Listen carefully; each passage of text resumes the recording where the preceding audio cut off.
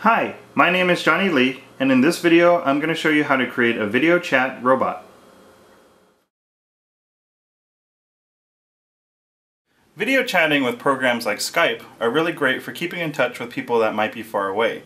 But one of the problems is that if they move around too much or get up and walk away, you're kind of just stuck there waiting for them to come back.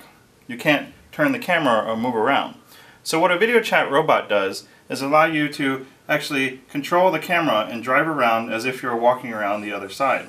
So these are sometimes called telepresence robots and sometimes cost thousands of dollars. So what I'm going to show you is how to make one for around $500. There are two main hardware pieces to this project. The first is the iRobot Create, which is a relatively inexpensive educational robot that you can buy for around $250, and that includes the rechargeable battery and the charger. What this does is it allows you to drive around the house a little bit like the Roomba vacuum cleaner, just without the vacuum part. Now the second part is of course the netbook that's on top.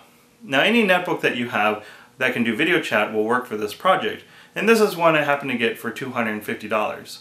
You can also see in my setup I've made a stand to prop the laptop up so it's about seated height. Now this is of course optional. You can put the netbook right on top of the base and everything will work just fine. But if you really want to make a stand, you can probably do something adequate with a few pieces of light wood. The netbook communicates with the base using a USB serial cable that goes directly to the robot, which sends commands to the motors. This is a cable you can buy on the iRobot website. You can also see that I put the AC power adapters in this bay and connected it to this extension cable so that I can charge both the robot and the netbook using one connection.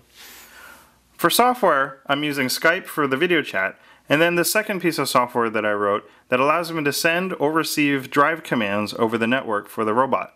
This is what allows me to do the remote control capability. You can also see I've put a wide angle lens on the netbook camera so I have a bigger field of view to see more of the room on the other side. Once I have the software running on the netbook and the software running on my laptop talking to each other, I can use my keyboard right here to drive the robot around the room.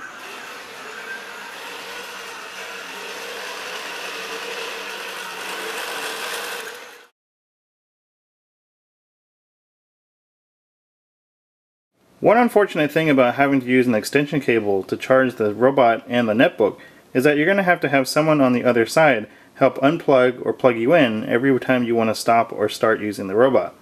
On the other hand, I've made a modification to my charging base that allows me to dock the robot and self-charge it whenever I want and also disconnect without anyone's help.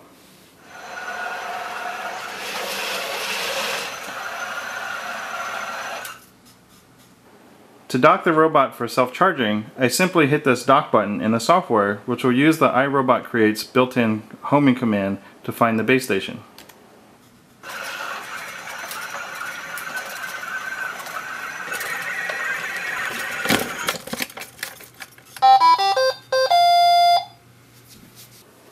To regain control of the robot, I simply hit connect to remote robot and then click on keyboard control and now I can undock the robot and drive it around.